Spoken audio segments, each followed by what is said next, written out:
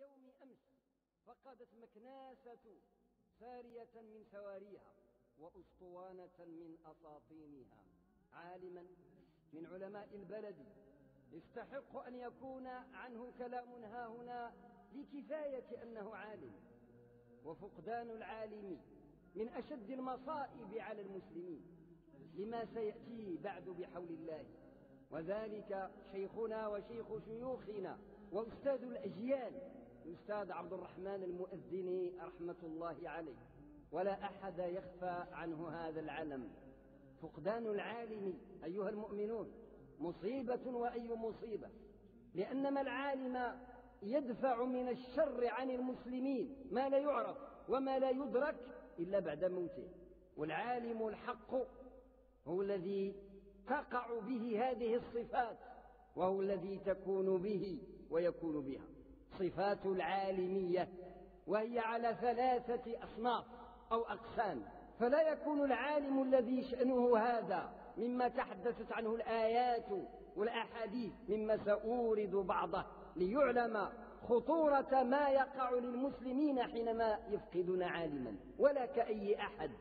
هذه الأصناف الثلاثة من العلم التي تقوم بالعالم ويقوم بها أولها علم بالشريعة ثم علم بالله ثم علم بالناس. وحينما يختل ركن من هذه الأركان كما سأبينه بحول الله يقع فساد في الأرض كبير. باسم العلم باسم العلم. يقع فساد وإفساد في الأرض كبير.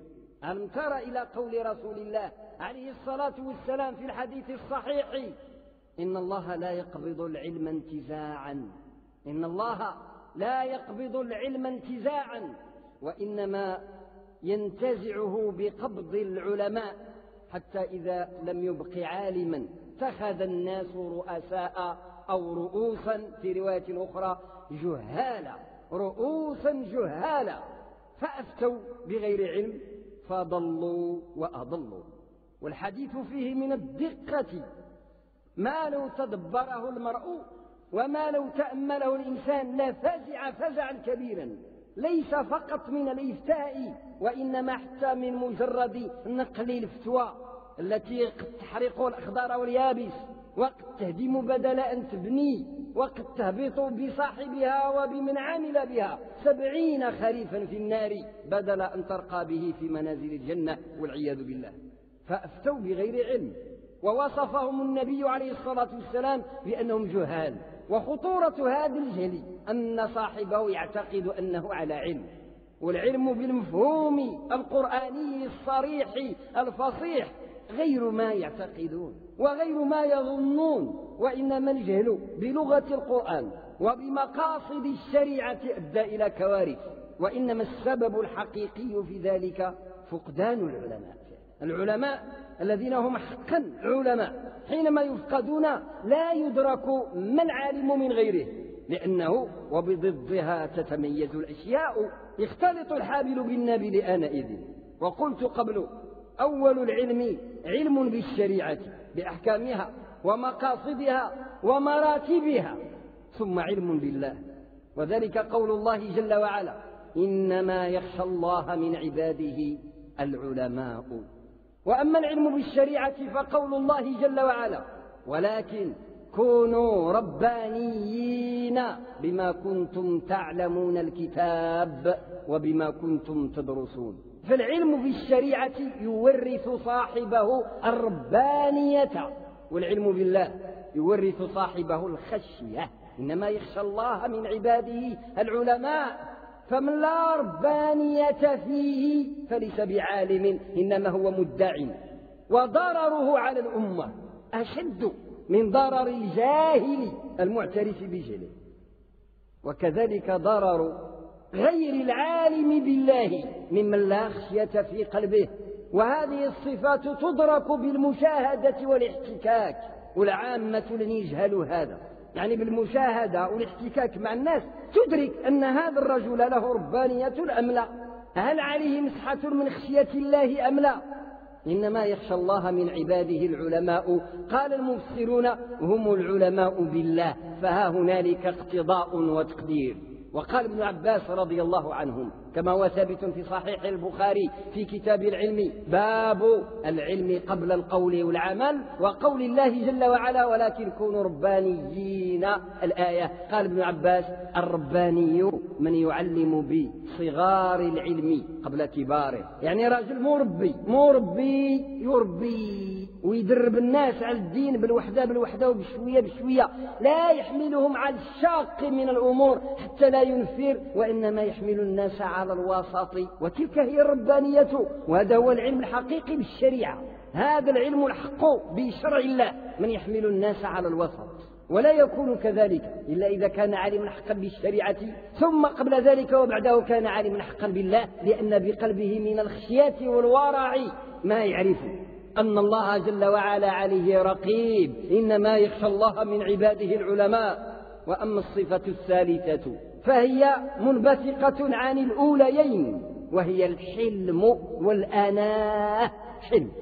وتلك صفة من صفات الأنبياء. ذكرها الله بصيغة في حق إبراهيم عليه السلام وبصيغ أخرى في حق رسولنا سيدنا محمد عليه الصلاة والسلام حينما قال بالمؤمنين رؤوف رحيم. إذا لم تجد رحمة في قلب العالم يشفق على الأمة كشفقة الأم على وليدها الرضيع. فيه لطف فيه رحمة فيه شفقة يخشى أن يحمل الناس على العنف فيضلوا فبه من هذه الجهة شفقة. رحمة بالمؤمنين رؤوف رؤوف رحيم. إن إبراهيم لحليم أواه منيب. حلم. قال العلماء أواه شديد التأوه من قولك آه للتوجع. سيدنا إبراهيم عليه السلام كان إذا علم أن الله سيعاقب قوما كما في قصة لوط يتأوه يتوجع مما سينزل بأولئك الكفار وهم كفار من عقوبة الله جل وعلا. يتأوه. حلم. كان في الأنبياء من أولي العزم. كان في الأنبياء من أولي العزم وأهل الخير جميعا من الذين تبعوهم من العلماء والمربين والربانيين. وعجب أنك قد تجد من الناس يؤصلون للعنة والمشقة. توجد بعض الناس يبدأ يجيب لك الأدلة على أن الدين فيه فيه العنة وفيه القول الغليظ. كذبوا والله على الله وعلى دين الله. ألم كيف وصف الله أصحاب محمد عليه الصلاة والسلام حينما قال فيهم أشداء على الكفار رحماء بينهم.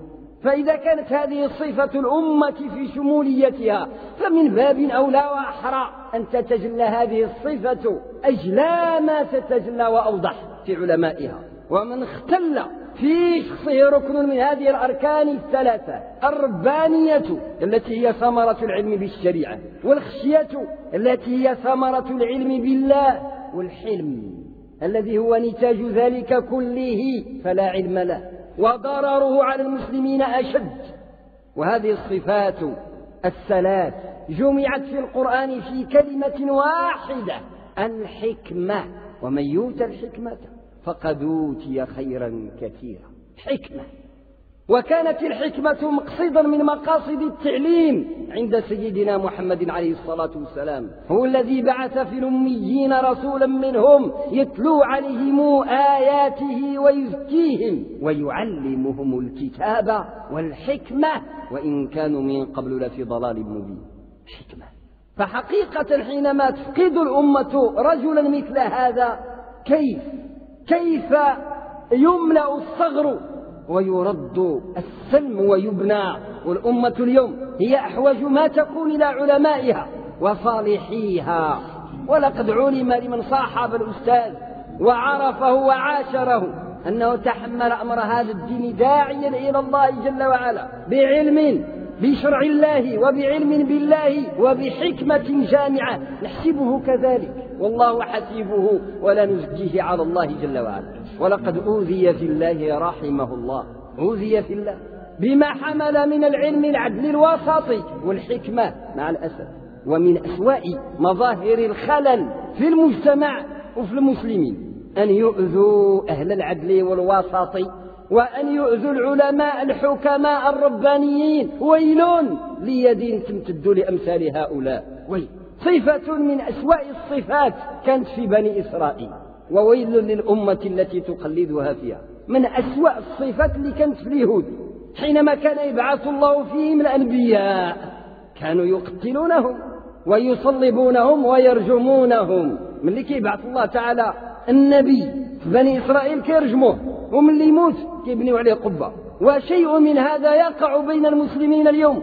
إذا ظهر فيهم الصالح الولي الداعي إلى الله رجموه بالقول والتهم والتزوير في حقه حتى إذا مات ندبوا وبنوا عليه قبة مادية أو معنوية. ماذا يجدي بعد البكاء وقد مضى النفع الذي كان في هذا العالم في حياته؟ مع الأسف. كل شيء كنقلبوا عليه في الحياة ديالنا إلا البحث عن العلم والعلماء. كنقلبوش عليه. ونبحث لأبنائنا عن كل أشكال الترفيه. والأب كتلقى رفض الهم الأشياء اللي ربيت على كفلها رفض الهم المستقبل المادي ديال الأبناء ديالو بصور ما كلفه الله بها. صحيح أنك توجه الابن ديالك ودير له الأسباب وتعلمه. كيف ينتج وليس يستهلك. ولكن كنوصلوا لواحد الدرجة بسبب الوسواس والهوس أنه أنت كدير الخدمة ديال ولدك اللي خصو يديرها. بينما أبسط حقوق هذاك الابن وهو أن يصحاب أهل العلم وأن يصحاب أهل الفضل وأن تجعله يتعرف على مجالس العلم والحكماء. ما كنفكروا ليه وهذا من أسوأ مصائب هذا الزمان. العلماء قليل. وهذه صفة من الصفات التي حدث بها رسول الله عليه الصلاة والسلام عن زمان ما بين يدي الساعة كما سبق في الحديث الذي ذكر قبل. ولكن يقبض العلم أو ينتزعه بقبض العلماء. ويأسف الإنسان كيتأسف أنه في بعض الأحيان ما يسيق الخبر أنه كان واحد العالم فلاني حتى كيوصل له النعي ديالو. بعض الأحيان بل كثير من الأحيان مع الأسف ما كيكونش عارف حتى بالوجود ديالو. وهو يسكن في مدينته ما يتعرف عليه حتى يقولوا مات. والأسوأ من هذا أنه كيكون عارفه ولا يهتم به لا يأباه لا كثير من العلماء من أهل الفضل وممن كبر سنهم لازموا منازلهم. من يزورهم؟ قليل قليل قليل. يموتون ويموت علمهم معهم وتموت حكمتهم وتضيع الأمة. وتضل الجموع بسبب تولي أمر التوجيه الديني بشكل عشوائي. شباب لا علم لهم لا بالشرع ولا بالله ولا بالناس لأن العلم بالناس كتعرف مصالح الناس ويخليك تعرف ضرورات الناس. وضرورة العصر يعني المعرفة بالناس المعرفة بالزمان وأهله. واللي كيخلي الإنسان تكون عنده شفقة بالناس ورحمة بالناس وحلم بالناس فيحملهم على ما يطيقون. كما قال علي بن أبي طالب كرم الله وجهه حدثوا الناس بما يطيقون أتريدون أن يكذب الله ورسوله؟ العلم بهذه الصفات المذكورة بالأركان الأساسية العلم بالشريعة والعلم بالله والعلم بالناس. ماشي غير اختصاص العلماء. صحيح أن العلماء يجب أن يتمثل فيهم على أعلى صورة خصو يكونوا متمكنين منه. ولكنه أمر مطلوب من كل من المسلمين. أي واحد أنا وأنت والآخر والآخر مطلوب منه يدي حقه من هذه الأركان الثلاثة من العلم.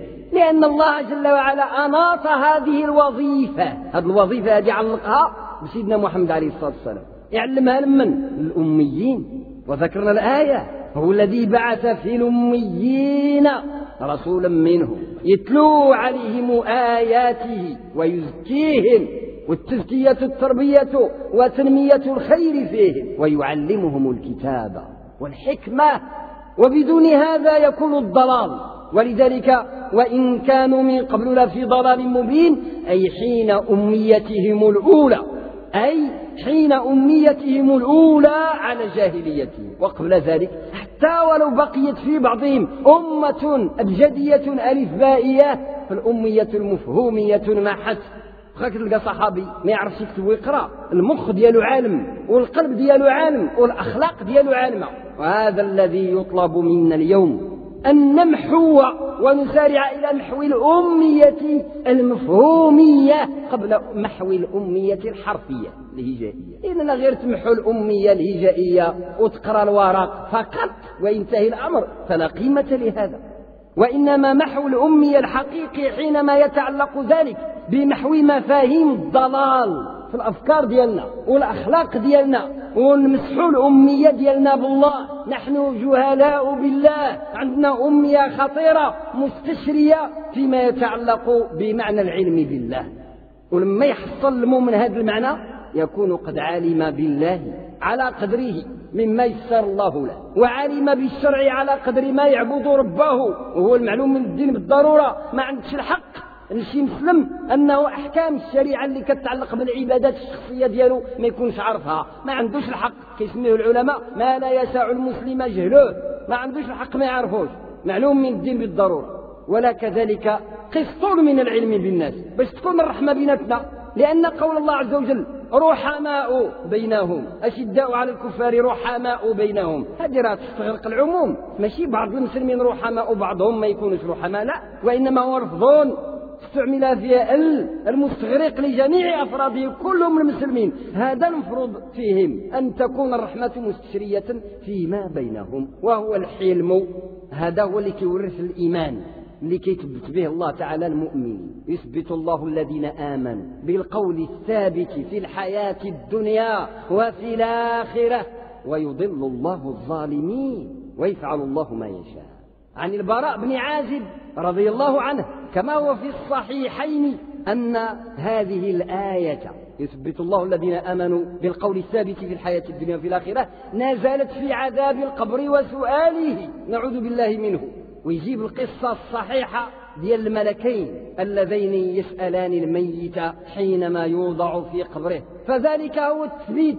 إن كان من المؤمنين الذين ورثوا الإيمان علما بشرع الله مما يعملون به وعلما بالله مما يورثهم الخشية وعلما بالناس مما يورثهم الرحمة ثبته الله.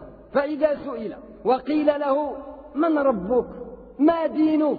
ماذا تقول في هذا الرجل الذي أرسل فيكم؟ فيقول جوابا عن كل سؤال ربي الله ديني الإسلام وهذا الرجل محمد رسول الله. صلى الله عليه وعلى آله وصحبه وسلم تسليما. فيقال له من أين لك هذا أو بهذا؟ منين جبت هذا الكلام. يقول قرأت الكتاب فآمنت وصدقت به. ما يتصورش لينا بأن هذه راه معرفة ذهنية. يعني راك تحفظها دابا وانتهى الأمر إذا تجاوب بها. لا لأن الأمر هنا لا يتعلق بالمعرفة الذهنية. ماشي قضية حفاظة وراك عارفها دابا راه يمكن لك تقولها تما. أبدا وإنما هو تثبيت من الله. فمن ثبته الله أجاب ومن أضله ضل ويضل الله الظالمين. هكذا نص الآية الذي لم يكن بقلبه خشية ولم يكن بقلبه حلم ولم يكن بقلبه ربانية. ربك يعوج لسانه. ويعقل منطقه فلا ينطق بشيء من هذا وإنما يقول إذا سئل كما في نص الحديث آه آه لا أدري. كل شيء مشالو. وإنما يثبت من ثبته الله. لأن الفعل منسوب فيه ومسند إلى الله فعله. فهو الفاعل في الفعل. يثبت الله. ماشي واحد آخر. ماشي الذاكرة ديالك. وماشي الحفاظة ديالك. وماشي الفهم ديالك. وماشي العلم المادي المجرد ديالك. أبدا. وإنما هو العلم بالله يثبت الله لا غيره. من؟ الذين آمنوا. الذين آمنوا بالقول الثابت الثابت في كتاب الله عن رسول الله في الدنيا. كما هو نازل في القرآن. الآن في الدنيا كما نعرفه الآن في الدنيا. ويثبت عليه القلوب هداية واستمرارا في الخير في الدنيا وفي الآخرة. وأول عتبة الآخرة القبر. وذلك أول الأسئلة تأتي. فلا يثبت إلا من ثبته الله. جعلني الله وإياكم من الثابتين المثبتين على الحق المبين. اللهم اجعلنا من التوابين واجعلنا من المتطهرين واغفر لنا وللمؤمنين واجعلنا من عبادك الصالحين. ودوما